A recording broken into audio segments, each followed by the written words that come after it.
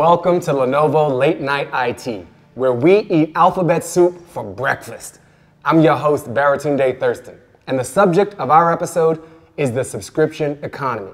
I'm joined by the man who coined the term subscription economy, Tien Tzuo. Tien was an early hire at Salesforce, where he built the company's original billing system. He's since gone on to found Zuora, one of the fastest growing SaaS companies in the country.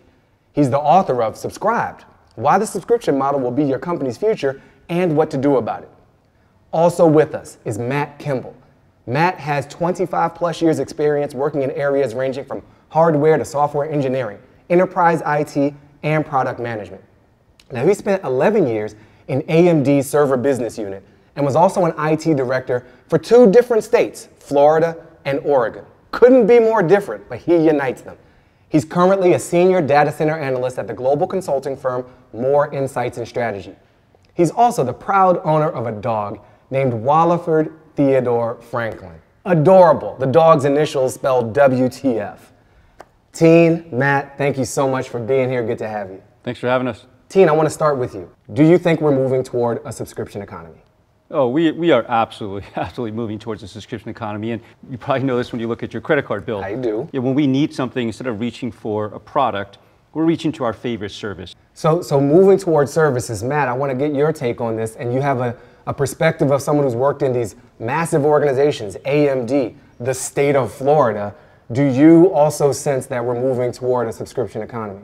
Yeah, I would agree with Tien. Uh, you know, I look at the world through the lens of the data center, and there is a a consumption model that is being driven across both hardware and software that is largely subscription based. I suspect, Tien, that is, I know you're a strong proponent of this. You wrote a whole book about it sure. and helping people do it.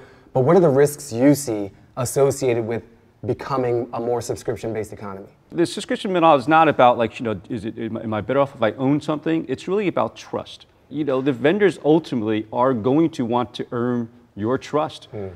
And, and so I would say that this is probably the more natural business model, right? Oh, people and okay. people, you know, there's a trust and there's a relationship with services.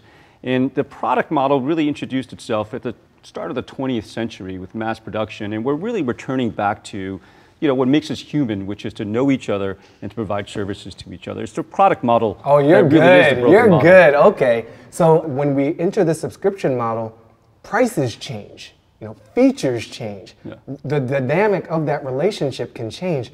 So, so Matt, how do you manage that change? Because it is such a different way of approaching operating a business when you actually no longer fully own uh, the capability that you need to be able to run your business. Yeah, I think there are a couple of ways of looking at this, and I would I would agree with um, Tien wholeheartedly in, in the, the notion of subscription based. I think IT organizations understand the value that the cloud brings from a, uh, an agility perspective, um, but they're turned off by some of the large costs they see. So, you know, what is that perfect marriage of cloud economics and still having some control? And I think this is where subscription based computing within the data center makes perfect sense. Um, I, I, I don't have enough data scientists on, on staff and enough IT st- uh, folks on staff to stand up a large analytics environment or uh, AI environment.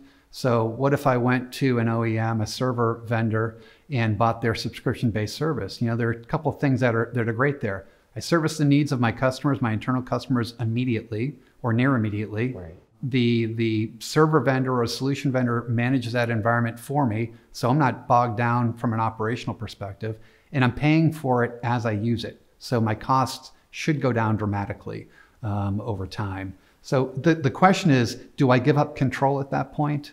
Um, and that's really your question. I don't look at this as an it organization um, giving up control over their environment or giving up uh, control over their data I look at them leveraging, you know, a great team of experts um, from, you know, that are standing behind them, helping them have more control over their environments, quite frankly, um, and do the things that they're being tasked to do. But you have to have trust, like you said earlier. You have to have almost a level of faith. I think one that that that provider, that vendor, that SaaS, you know, partner is going to exist three years from now. Now that you've become dependent on it, that they're going to maintain a sort of product development path that's still in line with your business growth or your household growth, and, and not, they're not going to pivot someday. Like, oh, we don't do that anymore. That's right. How do you see the culture shifting within organizations, whether it's the CEOs, the marketing people, the various technology leadership around a subscription model? What does it do to the organizational culture? Well, um, it, it, it, so to, to, to, Matt's point, it, obviously gives you incredible agility. Yeah. But I think there's a bigger picture for organizations, which is if you think about as an organization, you're starting to subscribe to all these services. Well, your organization also has a mission. Your organization has customers. Mm-hmm. And so your organization's customers are actually going through the same thing because this is all happening in our, in our personal right. lives. Right. And so what's going on in your organization right now is they're probably transforming to a subscription business. They're probably saying, you know, we have to turn our customers into subscribers. We have to transform as well. And so there's a broader thing. When we talk about shifting to subscription economy, this yeah. isn't just something that, that, that's, you know, instead of buying software, I'll simply subscribe to some SaaS app or applications or I'll use the cloud. This is a whole economic shift in the world around us, and it's affecting the companies, and it's, it's actually creating new demands on IT mm. in hmm. today's world. I, I wholeheartedly agree. There are a couple of, couple of points in there there's a you know there's a term that's used out in the in the industry called digital transformation right? And that is the digitizing of businesses in response to the market which is is huge and every company is going through it. But we talk about that in such an abstract way sometimes we forget about the downstream effects within the within the organization. And to what Tien said you know uh, as businesses transform those IT groups that support them have to transform as well. Um, and, and I, I, I kind of take issue with that a little bit in that it's not that IT organizations have to transform, they have to do more. Their day to day jobs have not gone away, right? That break fix capability or, or, support that they provide to the organization, that has not gone away. Maintaining the envir- operating environment has not gone away. But now they're being asked to do more in addition to that. And that's where, um, as I was talking about earlier, that's where subscription based uh, or consumption based computing uh, from the server all the way up to the software really can can can uh, be used as a tool by IT to offload a lot of that those mundane tasks and allow them to reorient themselves to to what this new world brave world looks like right? Um, so I think that's a, a pretty big part of it. A lot of this makes sense to me and, and most people for digital goods digital services.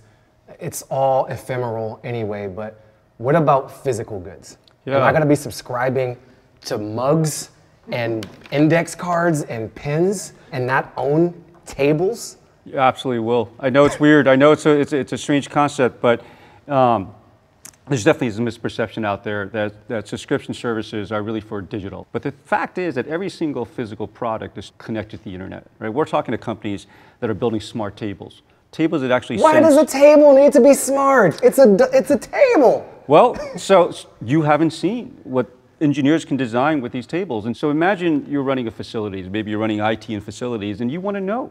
You want to know how often your employees are coming to the office, using their desks, moving around, and what if your table, and what if your desks, what if your chairs can actually tell you all that information? Dude, you got to stop right now because you're describing the greatest snitch network I've ever heard of. My, my desk is going to going to rat on me well, we'll, we'll so work through the privacy. I was at the office. The table says no. Yeah, yeah. Well, so but imagine that you can actually walk down to a table that says, "I want to check into this table right now." I could put my fingerprint down. A computer monitor comes up, has all my applications on it, and it gives you the flexibility to move around in offices to offices. And oh, so. Man. So what's happening now is, is because physical products have the ability to be connected to yeah. the internet. You buy a washing machine today, it's connected to the internet.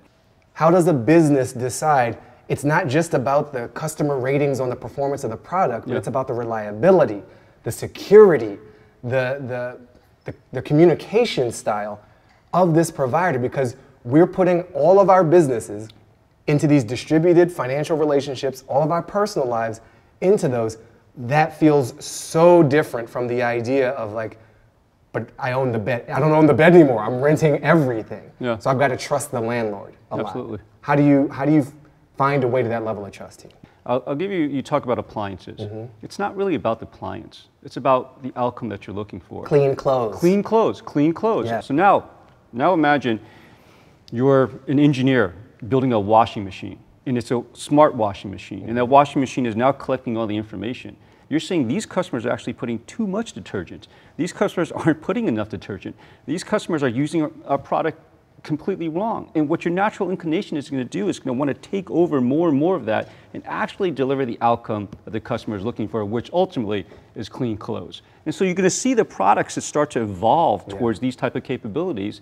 And the business model that allows this to happen will be something like that. It will be some monthly service where you get clean clothes. And it's not just going to be the washing machine, but it's going to be all the stuff that goes on around the washing machine. You know, the fact is, some folks may not want uh, their their outcome to be uh, completely clean, right? They clean clothes. They might want something slightly different. And Dirty clothes. I do believe that it's not always the case where the customer is using the product wrong. They're just not using it as you envisioned it to be used. And the smart companies figure that out. And to what you said, it, it becomes more of a dialogue and there's a learning process. Um, and this is an age old uh, age old uh, kind of uh, issue that product managers and software developers face all the time, right?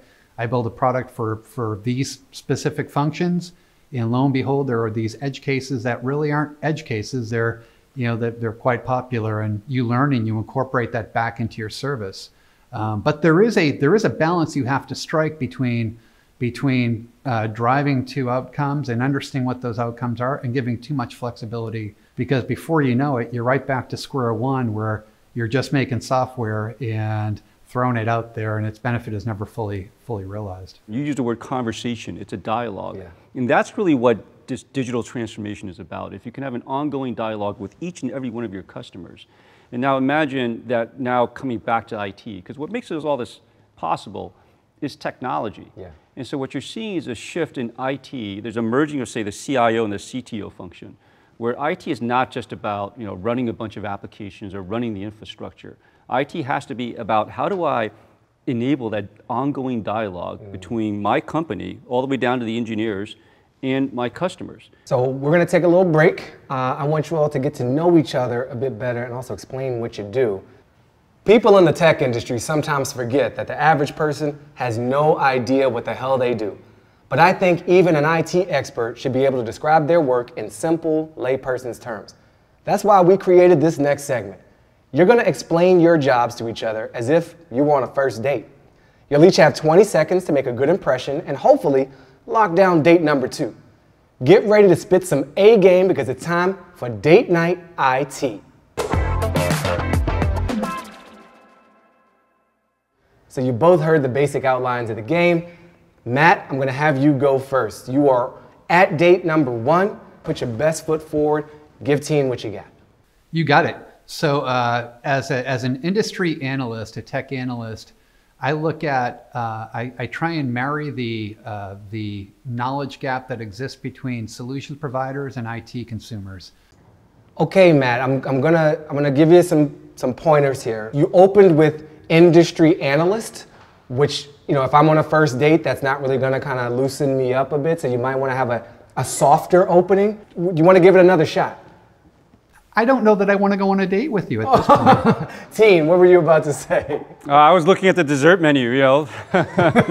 Sorry, man. All right, let me try it again. Do it again, yeah. What I try and do is I, I, I try and uh, bridge the gap between technology companies and IT organizations to help IT organizations make more informed decisions around what they're going to deploy and, and use in, inside their data centers. Better? Tien, was that better? Uh, yeah, maybe, uh, maybe I'm going to skip the appetizer, but, but I'll stick around for dessert. Sticking around for dessert. All right, well, that's good. Now you go from the judger to the judge, judged, perhaps? To judged. To judge Tien. Uh, shoot yeah. your shot. So, Matt, you know all those services that you love?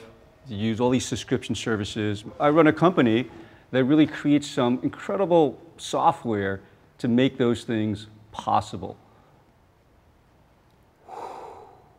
All right, so you're too nerdy for me. Oh, I was still nerdy. Wow, and I was like, the way you said software, that got to me, Tien. Hey, you did, Tien. You did a great job. It just, uh, I'm looking for a little bit more in my in my second date. All right. Swipe left. I appreciate the honesty and the openness to play the game. I'll take you both out separately. Tien, you are on the record as being extraordinarily pro subscription. What do you want to own? I, I think we're actually witnessing the end of ownership. I'll, I'll tell you, like a couple years ago, I saw this trend, this Marie Kondo trend, Yes. Right? Where, hey, just go into your closet and just throw everything away. Throw everything away. And at first I was like, well, that's, that's just got to be a strange fad. And then you look at your own house, your own apartment, your own closet, and you realize, you know, why do I have all this stuff? It's just, it just weighs you down. And so I just started throwing things away, just like everybody else. Do you own that jacket, Tien? Uh, if I could rent it, I would. I'll take that as a yes. You own that jacket. My wife loves books. I'm a digital books person myself, but she wants the physical book. Where do you stand on books, Tien? You're an author. I, I do like physical books. Aha! I We like got physical books, but I'll, I'll tell you, I'll tell you, like, you know, number one question I get is, well, can I subscribe to your book? Haha. So we now have a weekly newsletter. We, we just continue the dialogue of the book, and we're actually collecting a bunch of things that might actually become a, a, a second book Okay, some point. okay. So uh, you're getting high on your own supply. You're committed to the to the movement. committed. and I respect the commitment.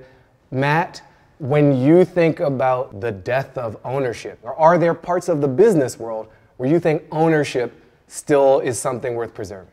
I do believe that the days of owning your assets are long behind, um, and you know that's kind of what made the cloud so interesting in concept to start, and uh, so broadly adopted. And it's what's going to drive consumption-based computing um, from you know from solutions providers across the spectrum moving forward. Matt mentioned enterprise organizations, which makes me think of the big ones, the Fortune 500 companies. What happens to the Fortune 500 companies in this transition to a subscription economy? The majority of the Fortune 500 companies, their business model is based on ownership. So you think about a car company. You think about, so the last five or six years, the number of cars sold around the world is actually declining every single year, mm. including in, in emerging markets like, like, like China and India. Because we just, we don't need it as a, you know, there's all these services out there. So if your business model is based on number of cars sold, then 10 years from now, you're going to be a smaller company, unless you just keep on increasing prices. But if your business model is based on miles driven, well, it turns out that miles driven is going up. And so, the same time that we sort of seeing the end of ownership, we're actually using things more and more. We call this we call this usership, right? Usership is going up, and ownership is going down. And so, I've got a friend Ray Wang that wrote a book. Um, you know, Everybody wants to rule the world, and, and, and he estimates that 95% of, the, of, of today's Fortune 500 companies will not exist in 2050 because of this change. And so that is the big question that, that Fortune 500 companies have. How do I make this shift? Yeah. And if you're running IT in one of these organizations, you should be asking yourself, how can I help my organizations make that shift? How can I make sure that my organization is still one of the survivors Yeah. in the year 2050? Matt, what in terms of making the shift, what are the hardest parts that you've seen? What's working well in the organizations that have been successful in making the transition? The biggest challenges that IT organizations find in transforming operations, transforming the way they consume technology, is all cultural. It's it's it's behavioral.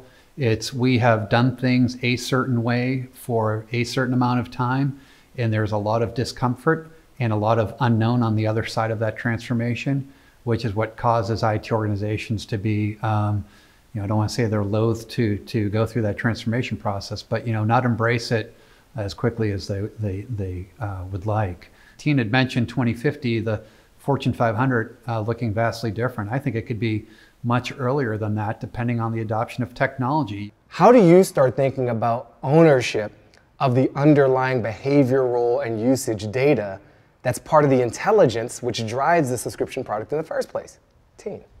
I, I, I think it should be black and white. I, I- I think uh, anything that, that, that's about you as a, as a business or a consumer should be your data. We need to create regulations. So that's at a consumer level. Think about it as a business level, right? I have a whole lot of proprietary data that I'm generating on these servers. I have trade secrets, um, you know, that I don't want my competition to gain access to.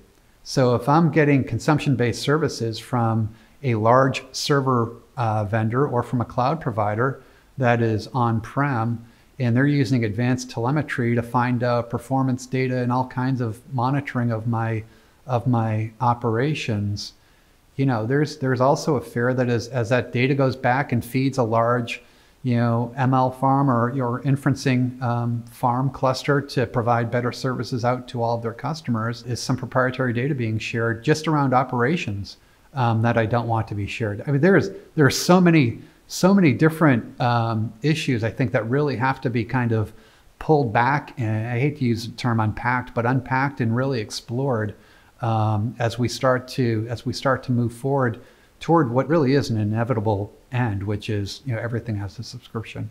Tien, it feels like it keeps coming back to trust. I think buyers are getting smarter. I think buyers are getting smarter and they're certainly asking the right questions. They're doing their homework and, and, ultimately the marketplace will decide the winners and the losers and the winners are going to be the ones that can establish that trust and over time and, and understand that their reputation is always at risk and, and, and live up to that reputation. Mm. And so if you're a modern day CIO and you're sort of clinging on to these systems that you put in place for the last 20, 30 years and, and saying, look, I need to standardize, right? Because it's about scale. And you're not really able to meet the needs of the business, then, then you're going to hurt the business. There's no reason why the CIOs of today can't be the CTOs and absorb some of that, all those cloud digital services that are not you know, to run a sales forecast, but to actually the service that the company is providing, the automobile service or the transportation service, the entertainment service, whatever happens to be. There's no reason IT can't take that role. And this is where you know IT as a service and consumption-based computing can be so important. There's also a skills gap that exists in these IT organizations. It's not just about you need to transform, you need to be able to transform. And if you can't do that, you're falling behind. And there are different levels to as a service, but if you can take these ready-made solutions that come down from IT solutions providers and stand them up as a service within your environment, you don't have to worry about all of that. That all goes to somebody else. And that's where the trust comes in. And that's how you allow your business to leapfrog the competition. That's what I love to, to, to, to have the listeners realize, right? It's, it's, it, you, can, you can look at IT, you can look at the subscription economy and say, okay, the implication is as, a, as an IT leader, how do I take advantage of these subscription services? Well, I think the next level is to say, how do I, as an IT organization, help my entire company transform into the subscription economy? And I yeah. think that's where the real gold is. I've been hearing from both of you mostly the positive benefits of shifting to a subscription based model. But one thing we haven't talked much about is the energy consumption of it. How do you think about the ongoing cost of replacing physical goods on a regular basis or keeping digital services alive so persistently given the climate crisis? Tien?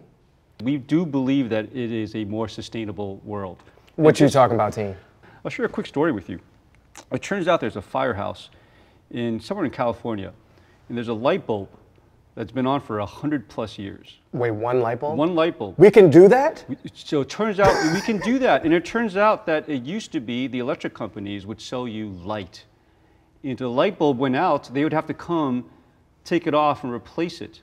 And eventually they said, oh, we want to sell you electricity instead, and you buy your own light bulbs. Hmm. And all of a sudden, the lifetime of a light bulb started to shrink because these companies had an incentive for you to go back and buy more, more and more light bulbs. of light bulbs. And yeah. so when you when you leave all the use of resources to the vendor, the service provider, you actually wind up having a much much better model.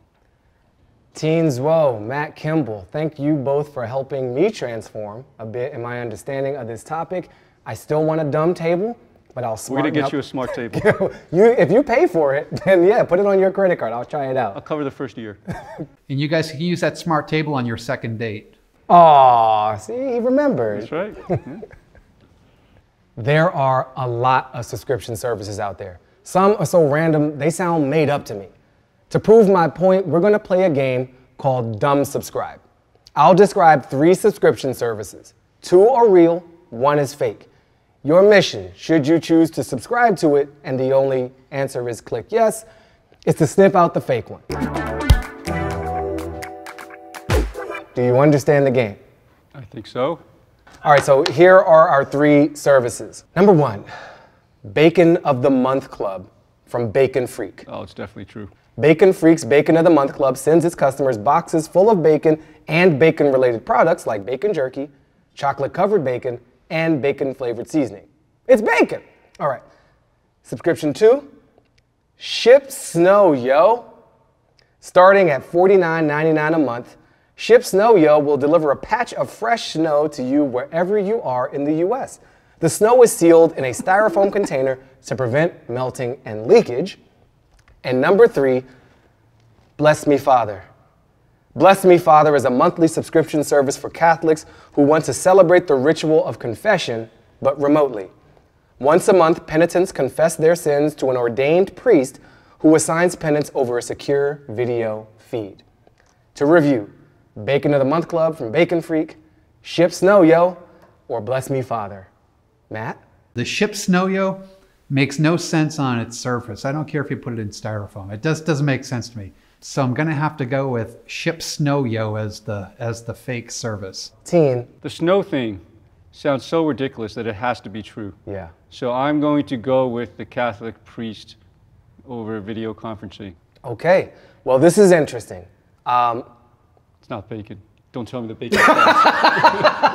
I like the suspense. You're like, please don't take my bacon away from me. I'm already signing up in the background over here. Um, Bless Me Father is not real. And I'm sorry, but the snow thing is actually happening. That's so stupid. Can I say that? You just did. Okay, all right. It's been a pleasure playing, hanging, and learning from all of you. Tien, Matt, thank you so much for playing with me, for helping me transform, if not digitally, at least mildly in an analog way. It's been a pleasure. it's fun. Thanks. We've got to lock up this garage now, but thank you for joining us. And thanks to our great guests, Tien Tzuo and Matt Kimball. I'm Baratunde Thurston, and I'll see you on the next Late Night IT.